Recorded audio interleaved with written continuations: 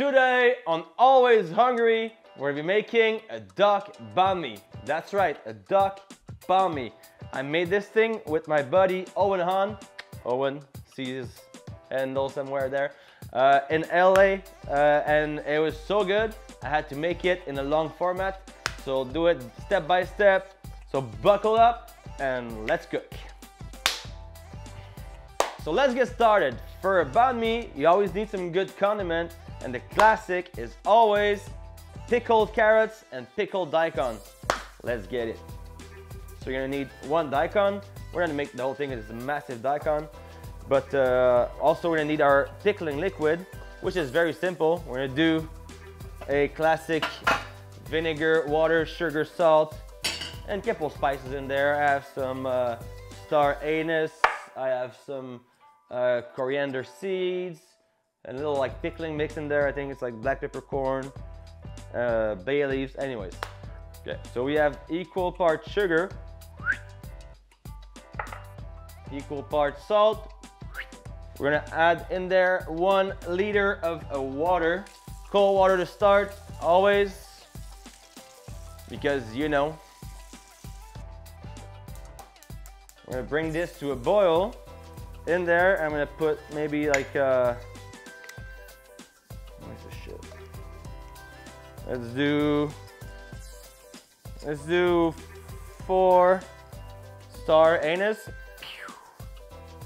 We're gonna also eyeball this, maybe like uh, freaking lids every time. We're gonna make, uh, we're gonna do probably one uh, tablespoon, no, half a tablespoon of pickling spices. There you go, that's good enough. Uh, once this is gonna be boiling, we're gonna strain it and pour it on our julienne, carrots, and daikon. Oh, I almost forgot. Vinegar. I should have probably put less water, but it's fine. Let's put some vinegar in there. Maybe a big batch, you know. It's always good to have pickling liquid, not too far. And now we can start peeling our beautiful daikon. If you don't know what a daikon is, well, it's about time you know what it is. It's a radish, it's a Japanese radish. So it pretty much just tastes like a regular radish. And now, just to have, you know, nice, even pieces of carrots and daikon, I'm gonna use this good old thing called a mandolin, not the music instrument, the Japanese mandolin. All right, let's get it.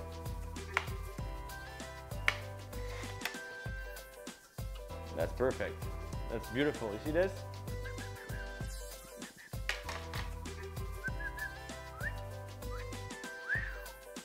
Perfect. Mm. If you're too scared to use a mandolin, that's totally fine. You can just use your knife. Or you can just, you know, deal with your fear. There you go. So see, I feel like um, the daikon is the easy part of the job. We're gonna take our slices here, place them nice, all stacked up. So now that you have your stack of beautiful even slices, we're just gonna cut those up like this, like this, like this,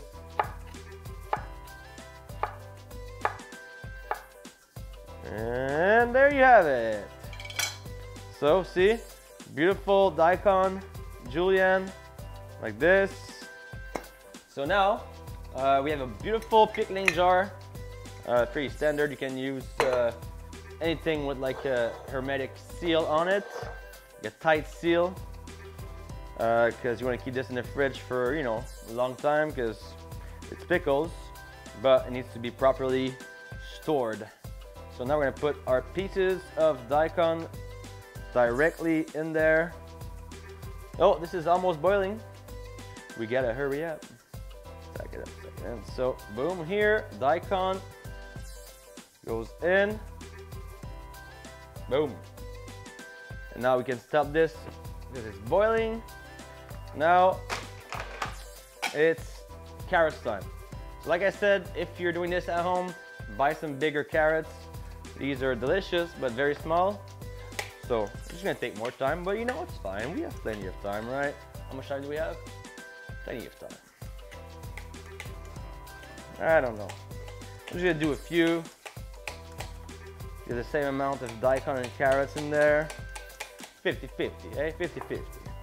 All right, all right, okay. All right, so carrots are peeled, and now, same thing, we're gonna mandolin those, and hopefully you not lose a finger. Let's just go slowly, nice and slowly. Nice and slowly. Nice and slowly. There you go, that's easy. You know, you just need a good mandolin. If it's not sharp, well, you might just fucking lose a finger, you know? And a good trick for y'all at home who are scared, well, option A, you can keep that little, that little guard that comes with it. In most kitchen, they get a mandolin from the box, they take the guard, and it's in the garbage. So, it's very simple actually. Carrot, or whatever you want to put on there. And then you know, just the palm on your carrot, or your vegetable, or whatever, and fingertips pointing to the sky. So this way, the worst that could happen is you might cut a bit of your palm, you know, it's like you have a better control, but your fingers at least are out of the way because you know, you need your fingers, right?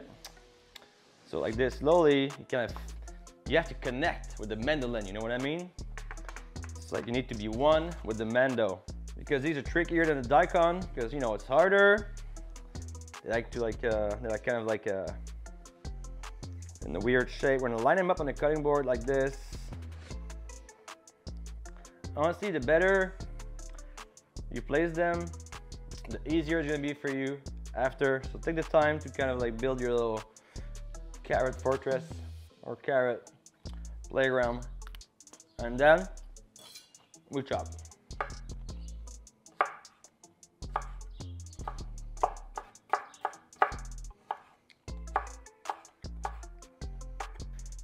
All right, so carrots are all done. No.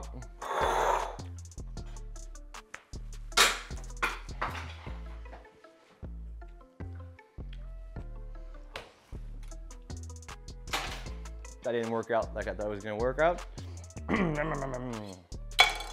All right, so now, carrots, about the same amount as a daikon, I would say, right? What do you say? Yeah. It's pretty fucking close to me. Doesn't have to be perfect, guys. You know, it's just pickled veggies in the jar or the daikon like this, like, like this, all around it. That's perfect too. That works. Now, I'm probably gonna make a mess with this. I'm probably gonna make a mess pouring this liquid in there, but you know what? Let's just try it. What are the odds of me making a mess? 92%? Yeah, probably right. 90% is accurate. Well, whatever. I like to live dangerously. So you can use, uh, you know, a little to get this done, but I like to just go right in there. One, two, three. Oh, hey! I mean, it's a small mess. It's a very minor mess. And see, only one star artist made it in there. That's probably a sign too. The key now is to let this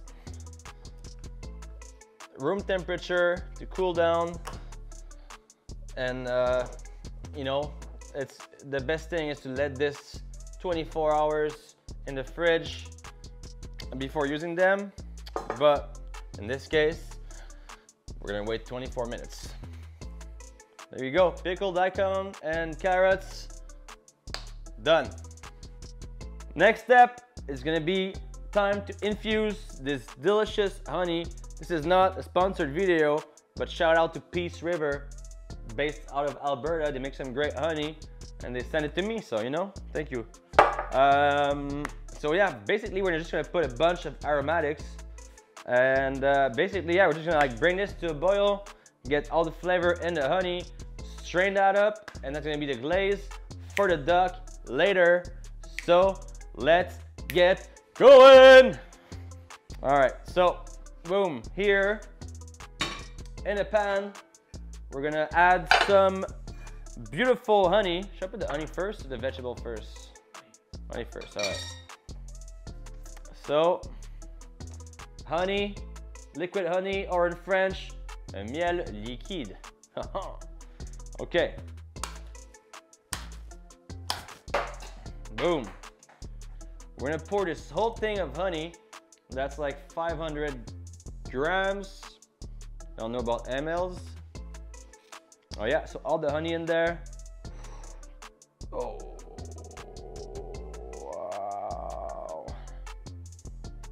Honey is just so beautiful. I don't know, I have a thing for honey. Let's start with the aromatics. So lemongrass here. Put this on this side here. This on this side, here on the side. We're gonna chop the ends like this. Whoa, whoa, whoa, whoa, whoa, whoa, whoa, whoa, So a good trick for lemongrass is you wanna smack it the fuck down. So it's gonna give out all its flavor. So we're gonna cut this in half like this. So hard. And now we're gonna smash this.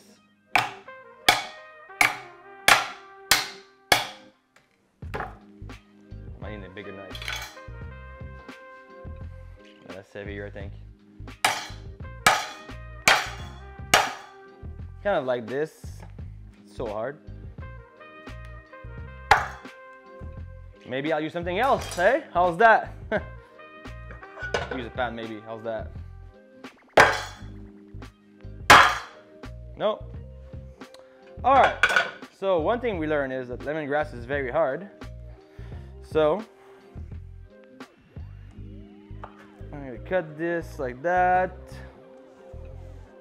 And then we're just gonna chop it like this, roughly. The smaller you cut your lemongrass, the more flavor you can extract from it. So use a sharp knife and get it done.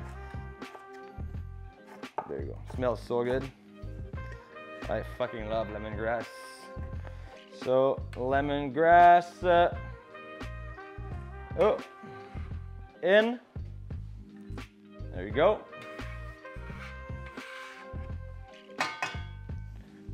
Next, we're gonna do some garlic. Like this, smash it. All right, smash that, smash that. You can even leave the skin on. That's what I did last time with Owen. But you know, now uh, I feel like taking it off, so just take it off. Uh, so skin, peel the garlic after you smash it, it's easier. Boom, boom. This is a fucking giant clove of garlic. All right, sweet. Smells good though. Smells like good garlic. All right, so garlic in the pot.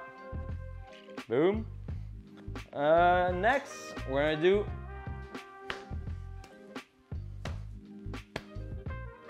one shallot.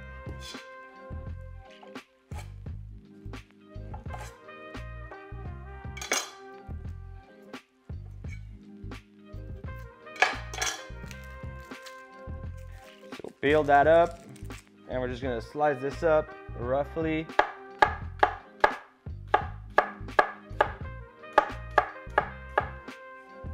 Boom, shallot in.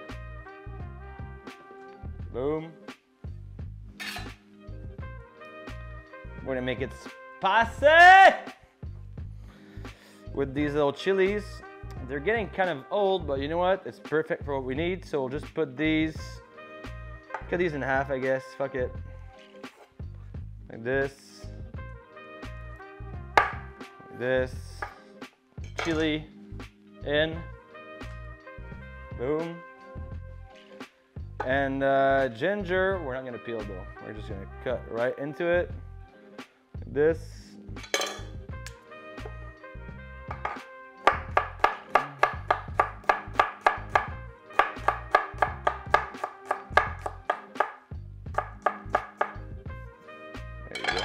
Enough. So ginger goes in. And that's pretty much it. And now, and now, and now, let's get to the spices to make this delicious uh, honey. We're gonna go again with uh, our star anise. We're gonna go with some black pepper. We're gonna go with some coriander seeds. We're gonna do like uh, one teaspoon of course coriander seeds. Boom. We're gonna do one little stick of cinnamon. There we go. We're gonna do a few black peppercorn, oh, like this, about a teaspoon as well. And we're gonna do, that's not gonna go through, a couple of star anise, maybe like, uh, that's probably like two. Boom. And we can get this going. There you go.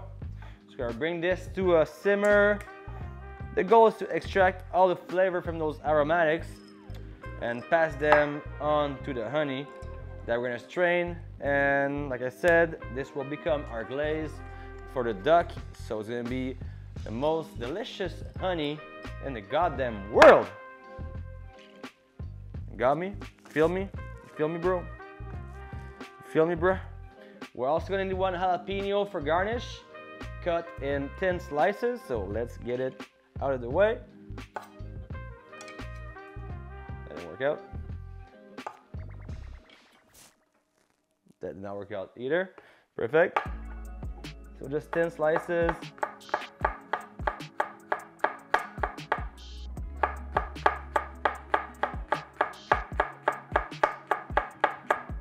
And that's it.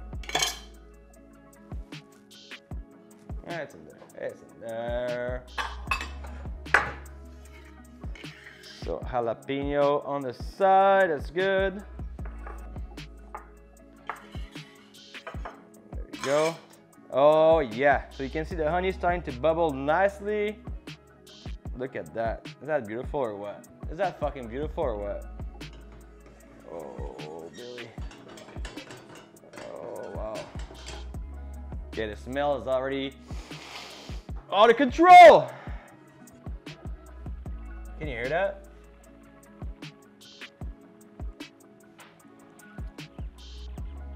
Little birds dying in there. Right?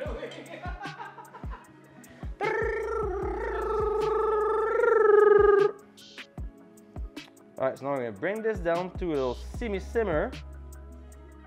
You don't want to burn the honey and the aromatics.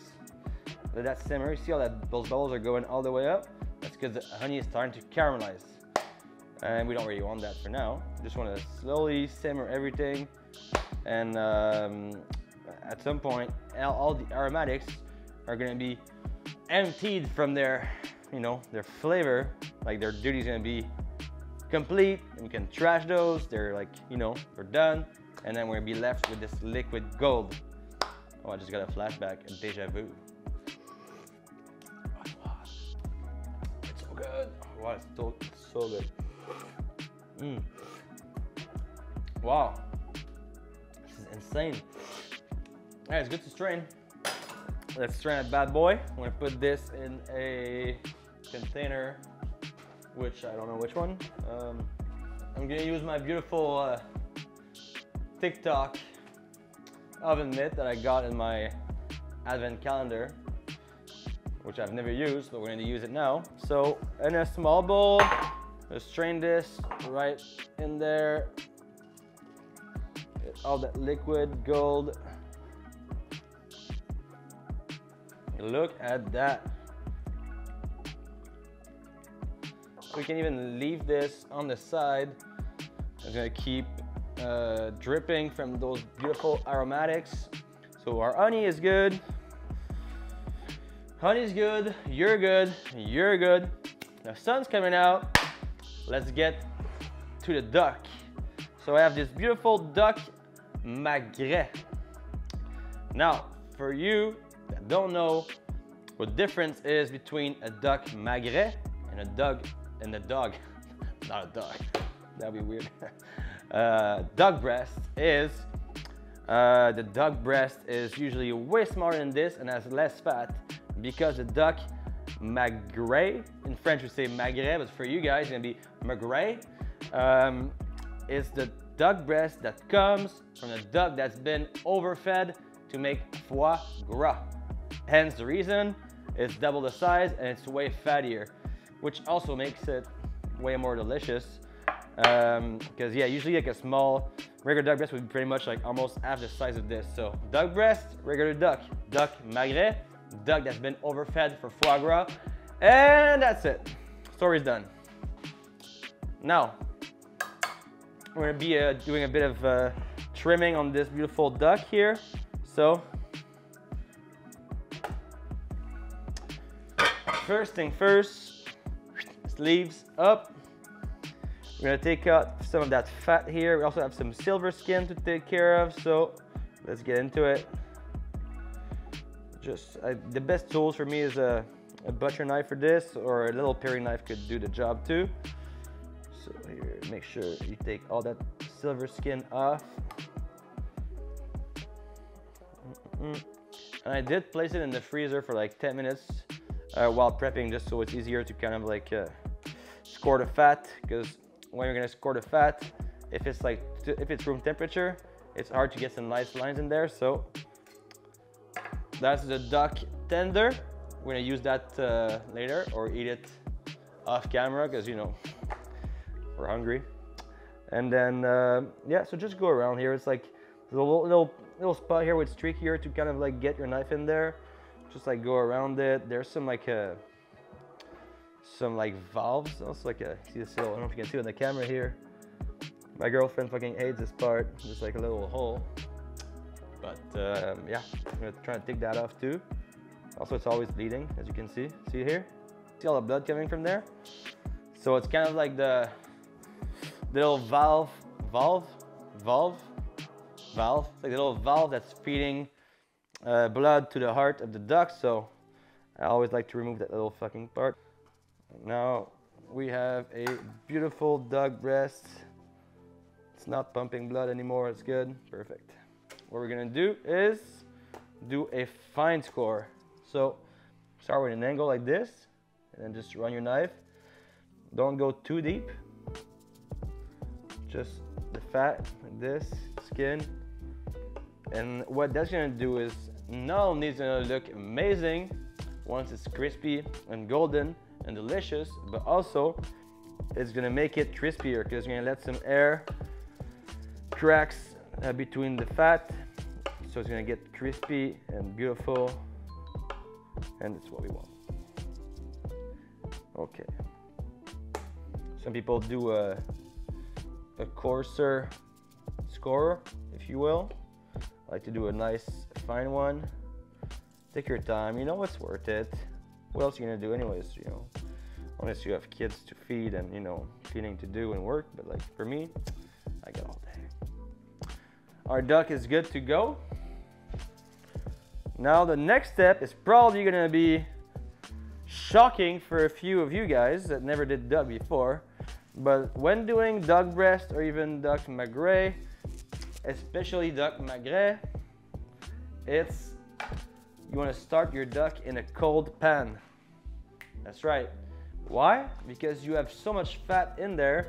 If you sear it in a pan like this, the outside is going to be crispy, but you have, you have way too much fat left in the middle. This way you can render out the fat, discard, render out, discard, render out where you get this beautiful, thin, crispy fucking crust. It's delicious. And uh, yeah, but first we're gonna season the duck.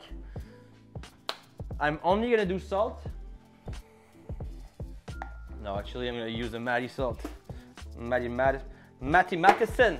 Beautiful gift from uh, my uh, soon-to-be best friend, Matty Matheson. He doesn't know yet, but uh, yeah, it's like uh, it's peppermill.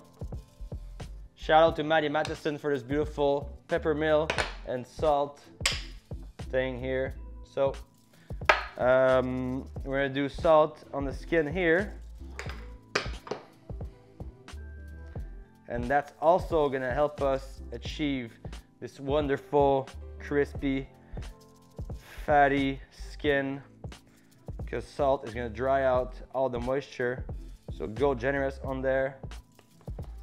And also don't forget, we're gonna be uh, glazing this thing with with honey. So uh, don't be afraid to put salt because it's gonna give us this beautiful sweet and salty duck, which I really like. And then other side as well.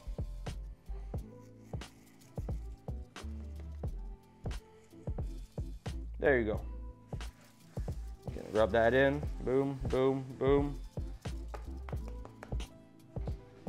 So um, I only have a super large pan or a super small one, but rather go with the smaller pan. So like I said, put the duck skin side down in your pan. Uh, see if it's just perfectly. Also, it's gonna shrink, so that's fine. And now you can put this on a stove. We're gonna start this up on a uh, medium high and let the skin render out all this fat and then uh, we're gonna have a bowl on the side to discard some excess, some excess fat, and that's it. And that's it. Okay, number one discardo. All right, so you see how much fat Ari has got in the pan here. So what we're gonna do is, kind of like uh, with uh, the tongue here, hold the duck in the pan, and then pour that fat right in the bowl. And then, you know, rub it down here. Take some salt up, that's perfect. All right, and then back in the pan. And we'll probably do this like four times because there's a lot of fat. So much fat. All right, uh, discard number two, hold the duck, discard and back. And let's take a look here. I think we're pretty much good for a flip actually. Wait. Oh, mama, mama, mama, mama. Look at that. Beautiful. Beautiful. Beautiful duck breast. Duck magret. All right, so the duck is now seared on all sides, underneath, on the side, extremities, everywhere. It's crispy, it's beautiful. And now I'm gonna discard the fat once again, like this. And actually what I'll do is, before we get to the glazing, I'm just gonna put the duck on here for one sec. This, this, and I'm just gonna give this thing a nice little dry wipe. There you go. Oh yeah. Can start fresh for the honey. There you go. So remember we have our beautiful honey here that's been infused, full of love and flavor. What we're gonna do is, we're gonna put some of this honey in here. Wow. Wow, wow, wow. That's beautiful. And uh, you know, you could probably finish this thing in the oven, um, but since we're gonna do it glazed in the pan, like, and I seared all sides, so you know we're pretty much almost there. But now that honey is gonna be uh, almost caramelizing, and we're gonna add the duck in there to glaze it, and it's gonna be beautiful. So, so the duck goes back with the honey, like this. All right, so now, like we're like you would do it with uh, with butter to glaze uh, to like base the steak, we're just gonna put some honey on top here and what that's gonna do is, it's gonna keep cooking the duck from all sides while getting a beautiful glaze going. So take your time, don't burn your honey, make sure it's like at the medium heat, so there's medium high heat, so it doesn't go, if, if you see your honey going too dark, what you can do is just add some more honey to bring it down in temperature. And yeah, keep glazing like this. Make sure you keep an eye on the skin side so it's not burning. That's beautiful. and then keep glazing that bad boy like this like this oh mamma mia let's flip oh my god look at that skin you have a good visual on the duck see now it's starting to be a bit too hot So what we can do is just add a bit more honey to this. There you go. That's perfect. Oh my God. That's how you glaze something, guys. And now we're gonna just let this rest on a little tray. All right. So, I think our duck is good to go. So I'm just gonna transfer this on here. Oh my God. So our duck has been resting for like 10 minutes. And uh, we're gonna cut it in thin slices for a sandwich. Mm -mm -mm and uh, actually this beautiful juice here, it's like the resting uh, juice from the duck and like the caramelized duck. Put this on the stove on super, super low. And I'm probably gonna use this for the Sammy because it's delicious. Oh, wrong stove. This on minimum. And we're gonna slice this thing right away. Ready?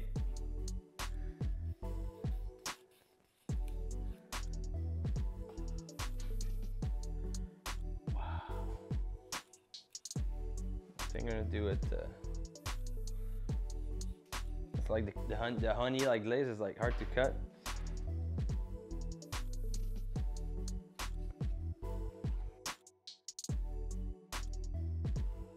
Wow, look at this. So we're just gonna cut this in tiny slices. Wow, this is beautiful. Look at this beautiful duck. It's juicy, it's crispy outside. It's gonna be delish. Mmm, mmm, mmm.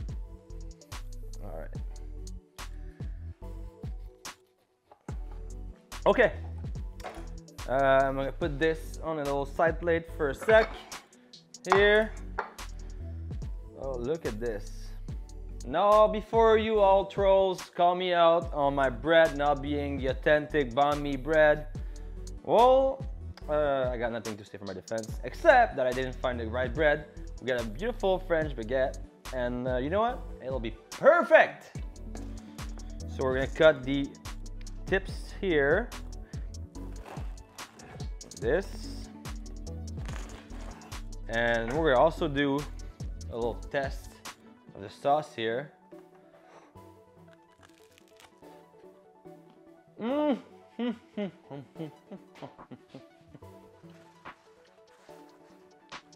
We're gonna open this guy up.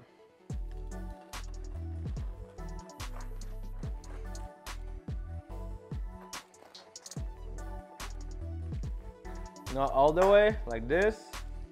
Open your bread like this. And we're gonna take out some of the bread inside so we have more room for the good stuff. We're not here for the bread, we're here for the stuff inside the bread. This can go in the garbage. Now we're gonna assemble our sandwich. I'm gonna use my favorite mayo the Kewpie mayo because it's just delicious and it's perfect for this. So mayo in.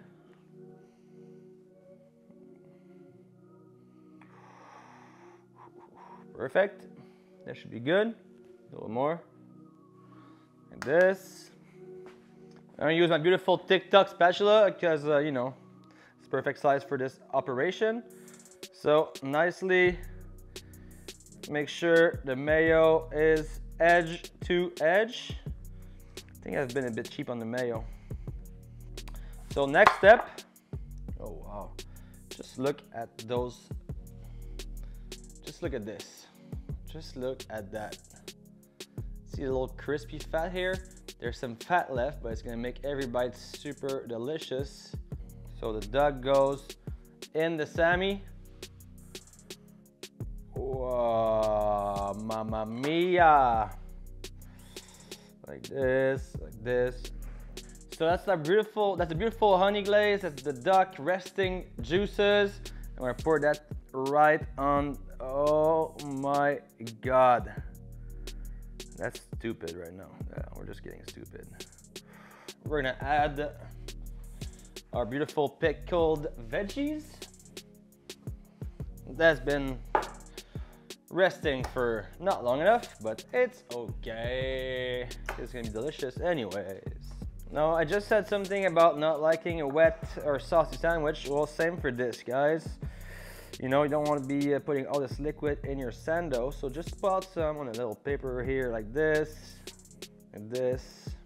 And add our carrots and daikon like this in the middle. All right, beautiful. So here I have some fresh cilantro. I mean, you can still eat banh without it if you don't like cilantro, but it's like such a big part of the sandwich. I feel like it's not the same experience without it, but you know. All right, let's get some green in this sandwich. So we have our beautiful cilantro here, right on top. I'm very generous because I fucking love it. That's beautiful. And then we have some green onions. You know, we didn't cut them on camera, but you can figure it out. You know, it's pretty simple, right? Green onions on top here. Not even sure if it's authentic to put green onions, but I just like it, so I'll just put it in there. And then some beautiful jalapeno also. I don't know what the deal is with this thing here. It's called Maggi seasoning. A few drops livens up food flavors. Apparently, it's a classic on the banh mi. I've never put it myself, but you know, I'm probably had it in every single banh mi I had in legit Vietnamese restaurants. So we're gonna try, I think a few drops. It's like, like this little umami bomb at the end. Maybe someone look it up and let me know in the comments. What's the point of putting Maggi in there? So a few drops on there. That should be good. Some lime juice in there for some freshness. Again, very not sure if it's authentic or not, but we're just gonna put some lime juice with a bread knife, why not? And then we'll splash some fresh lime on there. Oh yeah. I'm pretty much doing the exact same thing I did with Owen Han because we just went with the fucking flow and it was beautiful. So that's what we're gonna do today. And I think this is it, guys. I think our banh mi is good to go. I think our best bet is to leave it vertical like this. So let's cut right into it.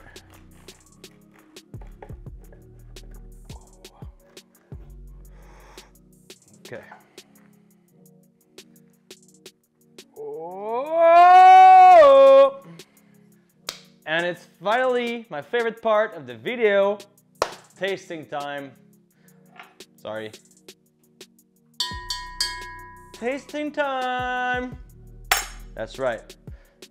So, banh mi, dog banh mi, honey glaze. Look at this. Look at that. Look at this. Look at that. This camera, that camera, that camera, that camera. All right, let's give it a try.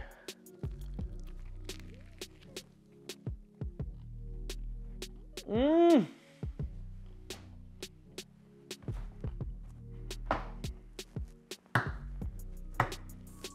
Mmm.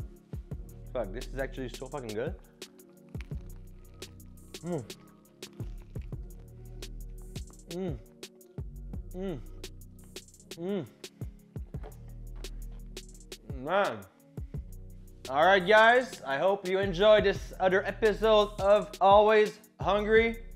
If you like that video, make sure you do the usual. Like, comment, subscribe, hit that little bell. And I'll see you on the next episode of Always Hungry.